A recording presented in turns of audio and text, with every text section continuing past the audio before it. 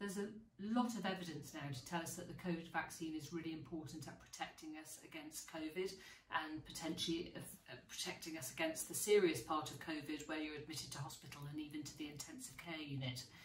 Since July, the National Committee who give us advice about vaccinations are recommending that all pregnant women get a COVID vaccine. And this is backed up by the Royal College of Midwives and the Royal College of Obstetricians, who are the two groups who supervise practice for doctors like myself and my midwife colleagues as well. And they're all recommending now that we advise you to get the vaccine because it is protecting you and potentially protecting your baby as well. We know from the data over the last 18 months that one in 10 women who are pregnant who get COVID will be admitted to the intensive care unit. And this suggests that they're really seriously unwell. And this figure may be even higher, up to one in seven pregnant women who get the Delta variant of COVID. So there's a lot of evidence now to tell us that we should really be recommending that you have the vaccine.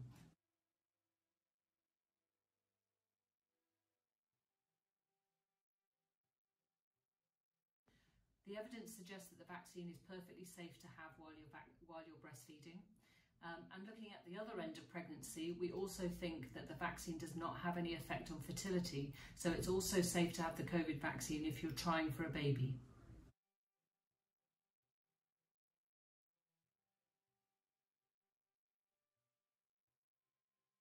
Your baby won't get COVID if you get your vaccine uh, what happens to the vaccine is it's thought to disintegrate within about six hours. And what the baby will actually get is the antibodies that you produce when you have the vaccine. So those antibodies cross the placenta and give your baby some protection against COVID.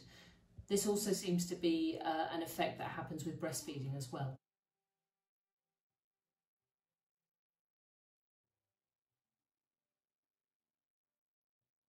The difficulty about shielding and being careful at home and social distancing is that we don't know how many people around us may have the vaccine, may have the infection without having any symptoms.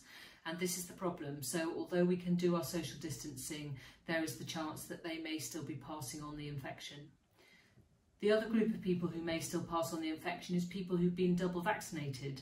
So although they are unlikely to get unwell themselves, they may still be carriers of the infection and therefore simply shielding at home may not fully protect you from getting COVID.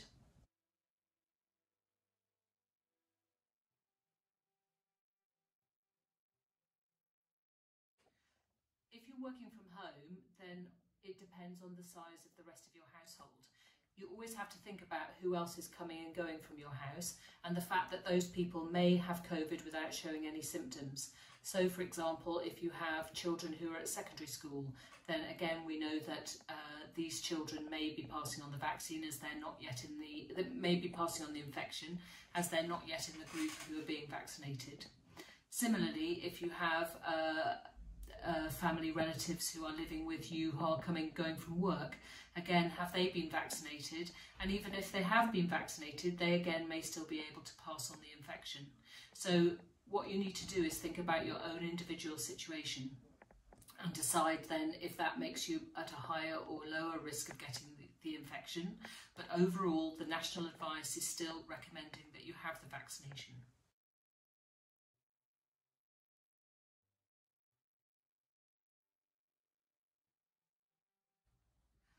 For most women, the vaccine uh, in pregnancy is advised uh, after you've had your 12 to 14 week scan. Um, however, there are certain groups of women who are at higher risk if they catch COVID, like women, for example, who may have diabetes or high blood pressure, and those women are advised to have the vaccine as soon as possible. But in general, the advice is after you've had your first scan.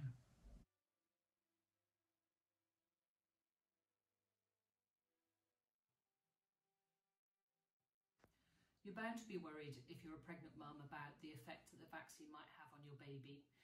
Uh, but what we know from over 200,000 women who have had the vaccine is that their babies seem to be safe.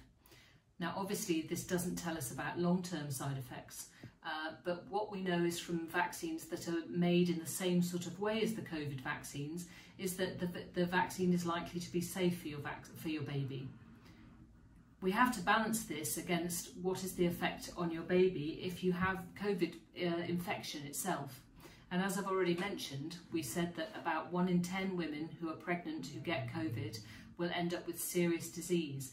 And we know that a lot of these pregnancies uh, result in having your baby prematurely. And we know that being born prematurely is a serious problem potentially for your baby with many different long-term side effects, especially if the baby is born very prematurely. And so you have to balance the risk of having a baby prematurely against the risk of having the vaccine. And at the moment, the evidence is suggesting to us that the vaccine is safe for your baby.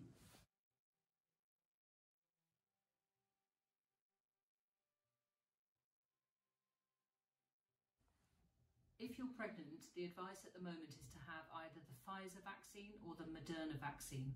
The reason for that is that most of the evidence on nearly 200,000 women who've had a COVID vaccine has been from one of these two vaccines, and that's why we are recommending one of those two types.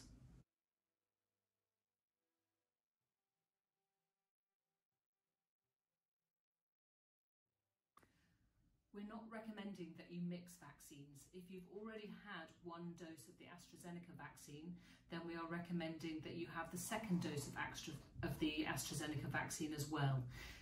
This is because the studies that have been done seeing at how effective the vaccine has been done has not been looking at mixing the vaccines and so we think it is we know that the evidence tells us it's a good vaccine if you have both of the same type of vaccine.